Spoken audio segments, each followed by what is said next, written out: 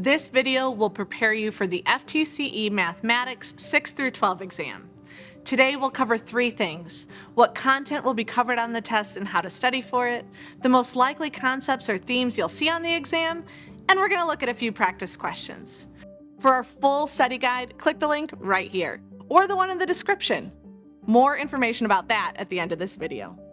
This exam is broken into six skills or competencies. In this video, we'll swing through each competency like aisles in a grocery store, perusing topics you'll see on the exam. Finally, before we check out, we'll tackle some practice questions, so make sure to pay close attention. Let's get started. First up, Competency 1, Number Sense and Operations. This is all about performing operations with rational numbers, estimating irrational numbers, solving problems involving ratios and proportions, and more. Just like the produce section offers dozens of fruits and veggies, this competency covers a wide range of essential skills.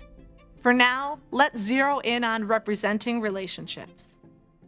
Let's say that a problem states that there are two chocolate chip cookies and three sugar cookies in a jar. The following represent different ways someone could represent the jar using part-to-part -part comparisons. 2 to 3. For every two chocolate chip cookies, there are three sugar cookies. Or 3 to 2. For every three sugar cookies, there are two chocolate chip cookies.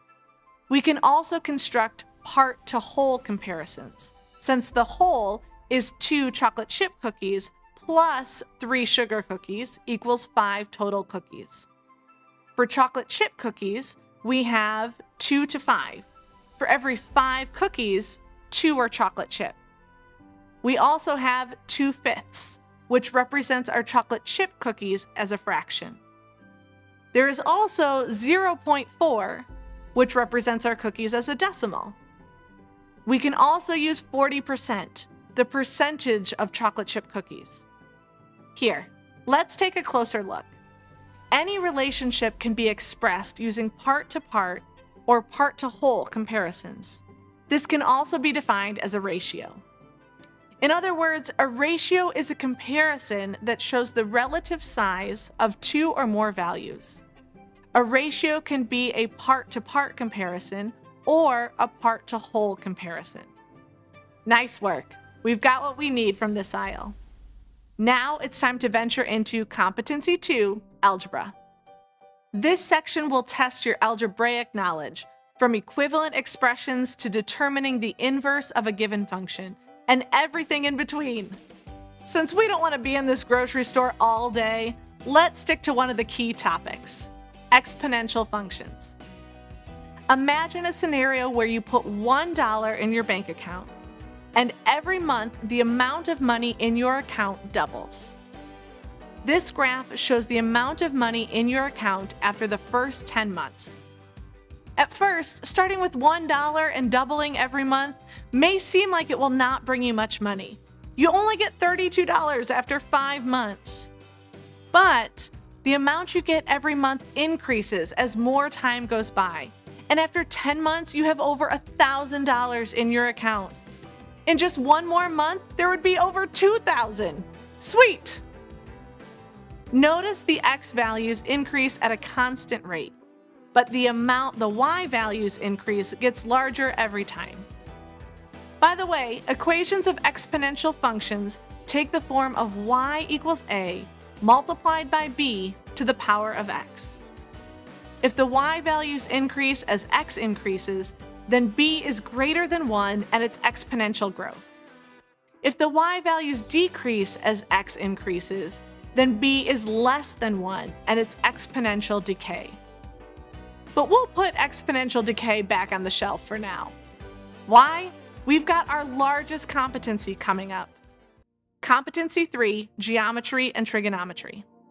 Here, you'll need to master problems concerning the properties of angles, trigonometric functions, graphical representation of curves, the language of logic, and so much more.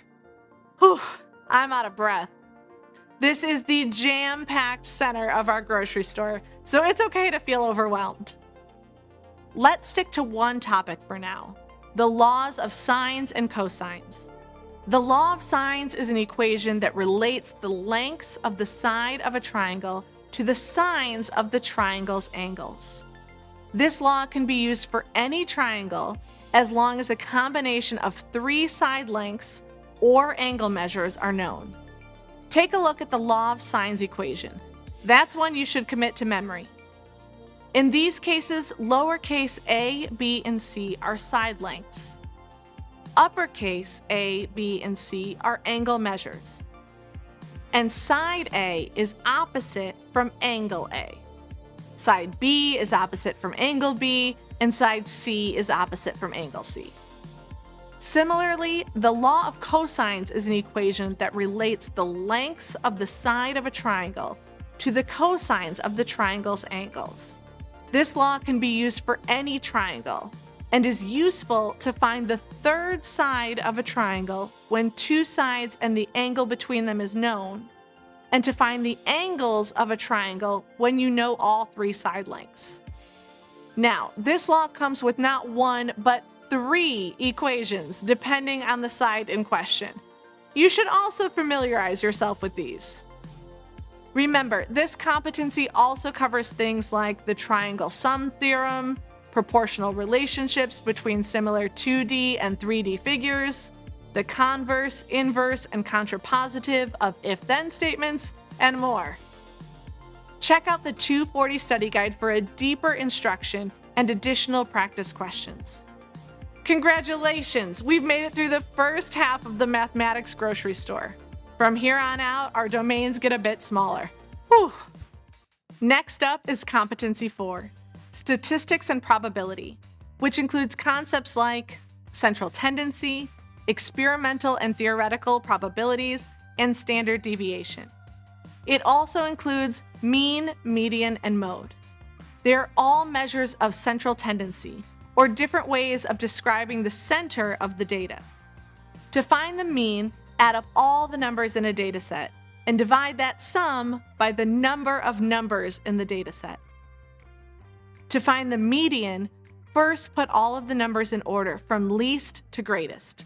The median is either the middle number or if there's an even number of values, found by calculating the mean of the middle two numbers. The mode is the most frequent number in the dataset. Some sets of data have no mode, and some sets of data have more than one mode. Take a look at an example. Five students stand in a row. Their height measured in centimeters. So the data set is 158, 155, 164, 155, and 168. Find the mean by adding up all of the numbers in the data set and dividing by the number of numbers. That gives us 800 divided by 5, or 160 centimeters. The median is the middle number. 158 is right in the middle. So that's our median. Lastly, the mode is just the number that you see the most in your data set. Since two of the students are 155 centimeters tall, that's our mode. Another competency down. I hope they have free samples in the next aisle. We've reached competency five, calculus. This skill is all about the properties of derivatives and integrals of functions such as algebraic, exponential, logarithmic, and trigonometric functions, and combinations of functions. Let's talk about derivatives. The derivative of a function, f of x, is notated by f prime of x, or dy over dx. The derivative means the slope of the curve at x. The derivative finds the slope of a function at a given point by using the slopes of the tangent line that touches the curve at a given point. Note, the derivative of a constant is zero, because the slope of the function is zero. Take a look at this example to see what I mean. The formal definition of the derivative shows how the derivative results from a limit. Take a look at this formula. Copy this down in your notes if you need it. Now, taking the derivative can be done through the power rule, product rule, the quotient rule, or the chain rule. I won't go through each of these in this video, but remember these are rules you need to know. Nice work. I can see the checkout line now. We only have one competency left, competency six, reasoning and instruction. This skill is a little different from the others. It dives into mathematical instruction, assessment, and learning progressions.